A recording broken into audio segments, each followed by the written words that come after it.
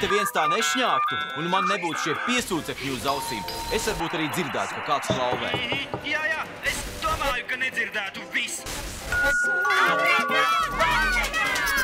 Ejam augšā izlūkos, pilnīgs bārdaks bēniņos. Bārdaks bēniņos, bārdaks bēniņos, bārdaks, bārdaks bēniņos.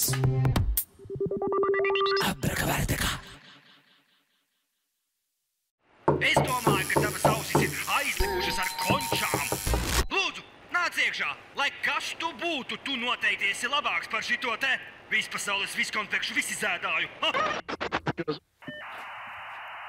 Kas te notiek? Paprasi tām tur, bārdekrīmas kundziņam. Labāk paprasti tam tur, radio, misteram nepatiesi apsūdzētājam. Paga, paga, tu skaties, ka tu nedabū arī izfilni pa bēniņiem. Haha, Pats skaties, ka es neustinu tavas antenas uz, uz šitā te maturuļa. Ko? Beidziet, abi! Es jums atsūtīju konfekšu maisu. Domāju, ka jūs abi būsiet priecīgi. Mēs arī bijām priecīgi. Tikai tas tur tad sāk apsūdzēt mani nelikumībā. Ak, tad šis te, ja? Mēs bijām priecīgi, līdz šitais te bārdeks nesāka pārkāpt likumu. Nekādus likumus es neesmu pārkāpis, ja? Tad kāpēc es dabūju tikai divas končas, bet tu 82? A? Tā ir taisnība. Jā! Nu, es tā jau nemaz arī neskaitīju, ja? Bet uh, apmēram tā ir, jā. Kaut kā tā, jā, jā. Kāpēc tu nedalījies ar radio? Jā, kāpēc? Es jau dalījos, bet tad viņš izdomāja konfekšu ēšanas likumus. Nu jā, tā lai būtu godīgi. Jūs uzrakstījāt likumu? Jā, Jā, mēs uzrakstījām likumu. Jā. Parādīšu. jā, parādi gan.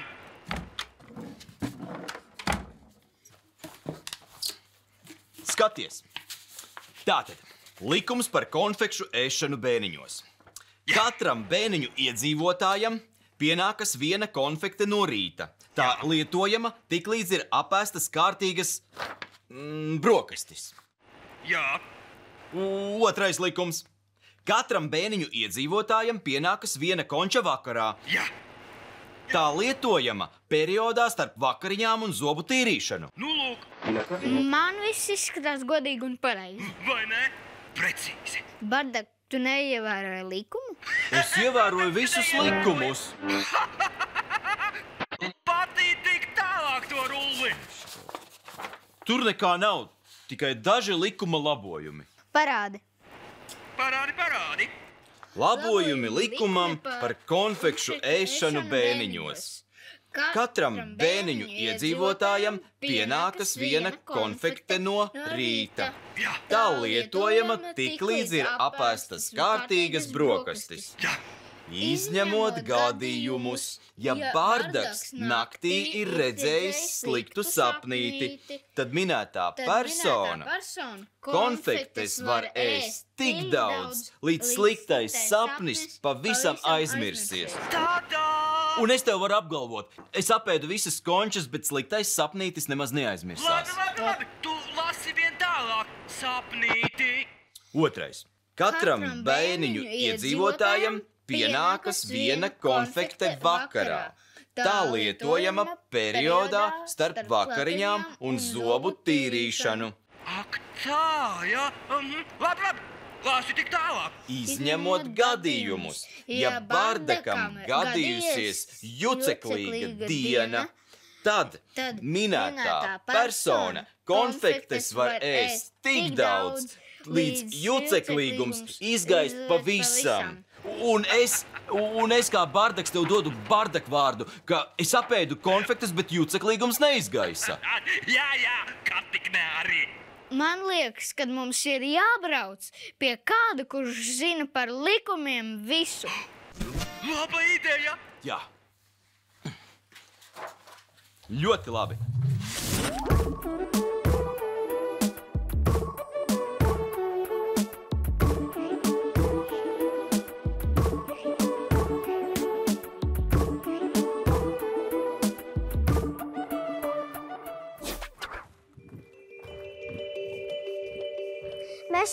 esam atbraukuši uz saimnu, lai uzzinātu, kā pieņem likums. Ātrāk, Bardak! Draugi, lielā sēžu zāle. Ek, televizoriņi. A, ko tie uz televizoru skatās? Man kā Bardekam ir viens ļoti liels jautājums.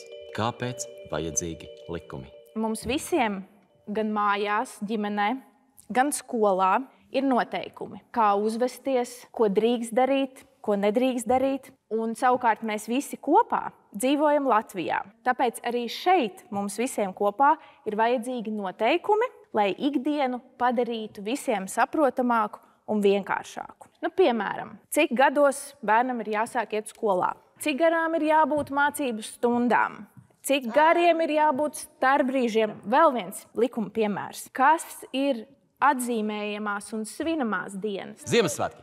Mūsu dzimšanas, Dzimšanas diena. Tas nav noteikts ar likumu. Lieldienas, Jā, uh, Heloīns, nē, Latvijas neatkarības diena. zinību diena, 1. septembris arī vai ne? Man liekas, vajag arī tādu bārdeka dienu. Saimā deputāti izlemj likumus. Pamatlikumu sauc satvērsme. Ja likuma nebūtu, tad pasaule būtu nekārtīga. Likumi ir vajadzīgi tāpēc, lai nu, viss nebūtu tā greizi. Es domāju, ka ir likumi pasaulē vairāk nekā tūkstots. Es dzirdēju, ka te ir dāvana istaba, un dāvanas ir no citā valstu pārstāvjiem. Ziniet, tas ir liels. Ir milzīgs. kuģis. Zelta. Zelta. Sīsts zelts, kā jums liekas? Liekas, ka jā. Reku zelta. Šī ir tikai viena daļa no dāvanām, kas pieder saimai, tāpēc ka šo dāvanu ir ļoti, ļoti daudz. Katru reizi tiekoties ar citu valstu amatpersonām, saimas deputāti mēdz saņemt suvenīrus, bet tos suvenīrus viņi paturēt savā īpašumā nevar. Paskaties, kas tas? San Francisco pilsētas atslēga. Uz San Francisco zināšu, kā tikt iekšā. Tas ir dā- arī domāts, man liekas, Ķīnas. Jā. Ķī- Ķīnā ir baigi daudz puķu. Es arī domāju. Kāpēc nevar paņemt uz mājām tādas dāvanas? Jā, tas ir ļoti labs jautājums. Jo tās dāvanas, ko uzdāvina tev, tu taču vari paturēt, vai ne? Mm. Tāds ir likums. Tad jau sanāk, ka ir ļoti daudz bēdīgu deputātu, vai ne? Kuri bēdājas, ka viņi nevar paņemt dāvanas uz mājām. Bet likumā ir paredzēts arī tas, ja deputāts ļoti, ļoti, ļoti vēlas to dāvanu, kas viņam ir uzdāvināta, tad, tad kad viņa pilnvaras beidzas, viņš var nopirkt šo dāvanu no saimnes. Jokaini, ne? Tiešām gan sarežģīti, gan jokaini. Vai ne? Viss kaut pilnīgs bārdeks. Jā. Es tev saku, tev uzdāvina dāvanu, tad tev viņa ir jānopērk. Ļoti liels lamps. Sei, kur te ir Tā, vēl tā, tā, vidū, tā vidū lampa ir diezgan liela, un tās apkārt ir tādas vidējas. Izskatās pēc svecēm jau. Jā, Viss ir Viņas- baigi izgraznots. jā. Kā, ja vajag spuldzīt, nomainīt viņu tur tiek? Kā viņi var? Nu, Ar trepēm. bet cik Jā, šit un tik kā smagu? Likums pasaka, ka vecākiem ir vajadzīgs atvaļinājums, lai arī vecāki var atpūsties kopā ar bērnu. Likums arī pasaka, ka vecāki ir galvenie. Vēl ir ar likumu noteikts tas, ka suņi un citi mājas dzīvnieki, kas varbūt mums ir mājās, ir jāved pie veterinārā ārsta. Viņi ir jāreģistrē.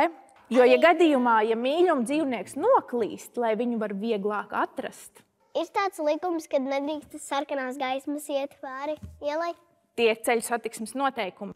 Likums paredz ievērot ceļu satiksmes noteikumus. Es zinu, ka tik augstskolā var iet tikai tad, kad tu esi pabeidzis visas 12 klases. Es zinu likumu, kad nedrīkst zakt. Es gribētu tādu likumu, ka ģimenē bērni ir galvenie.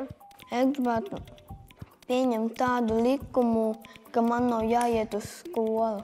Draugi, jūs varat izlasīt, kas tur rakstīts? Latvijas valsts Suverēna. suverēna Latvijas tautai. Jā, bet es to vārdu uh, Suverēna. Suvenīri. Bet kā tiek pieņemta likumi? Cilvēki paši Latvijā iz, izlemj sev likumus. Kā jūs arī lasījāt, tur uz tās plāksnes Latvijas valsts suverēnā vara pieder Latvijas tautai. Jā, tad visaugstākā. Reizi četros gados visi Latvijas iedzīvotāji piedalās vēlēšanās un balso par tiem, kuri vislabāk pārstāvēs viņu intereses un pieņems vislabākos likumus. Un tieši tāpēc ir svarīgi iet vēlēt. Kopā tiek ievēlēti simts cilvēki, kurus sauc par saimnes deputātiem. Un viņiem ir tiesības visu Latvijas cilvēku vārdā pieņemt likumus.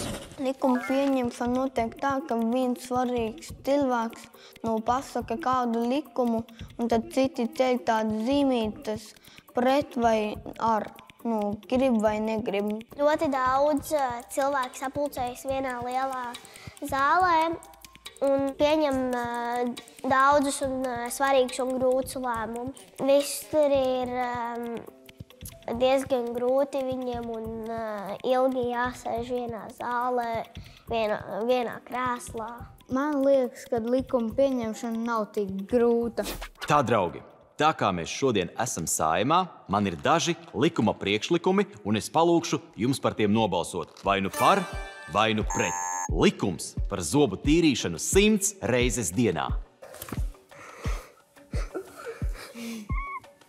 Ar vairākumu pieņemts pret. Likums par saldējuma aizliekšanu. Ļoti labi, vienbalsīgi noraidīts. Likums par savas krājkasītes atdošanu bardakam. Diemžēl noraidīts. Likums, lai katrā klasē būtu savs batuts. Vienbalsīgi pieņemts, lai skolā būtu jāiet arī sestdienās un svētdienās. Noraidīts. Likums, lai visi suņi ielās varētu staigāt bez saitītes. Mhm. Vienbalsīgi noraidīts. Likums par to, lai ģimenē visu izlemtu bērni. Vienbalsīgi pieņemts atbalsts. Likums par to, lai nebūtu nekādu likumu. Noraidīts. Likums par to, lai katrā mājā būtu savs bardaks. Gandrīz vienbalsīgi pieņemts atbalstām. Paldies par uzmanību! Čuriu 7082! Oi, Tā. paskat, kas atvilkās. Jāizdara pēdējie labojumi likumā par konču ēšanu bēniņos. Aha, aha. Izskatās, ka tu neko neesi sapratis. Hm? P, T, J, labojumi, konču Paga, Ko? ēšanas likumā. Nu jā, paņemsi sev pilnīgi visas končas tagad, jā? Aha. Tātad visas neapēstās konfektes, bet arī bardaka paslēptās ir jādod radio. Punkts. Jā, pat visas pārā. Un pēc punkta nekas vairs nav un nedrīkst arī būt. Bet, bet pagaidi, tu, tu taču teici, ka tu visas apēdi. Teicu, teicu, daudz ko es saku. Un ko tu teiktu, ja es tev pastāstītu, ka es visu dienu spēlēju ķerenis ar Ziemassvētku vecīti? Nopietni! Radio. Es taču esmu bārdaks, un man dažreiz mēdz lietas sajukt. Jā.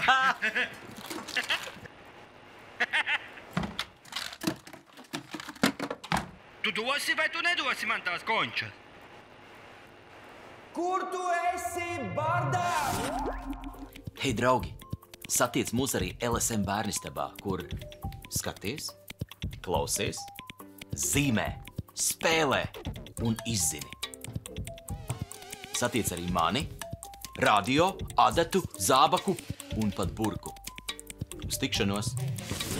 Raidījums visiem mums! Bārdaks bērniņš! LTV viens nelsim bērnu stabā!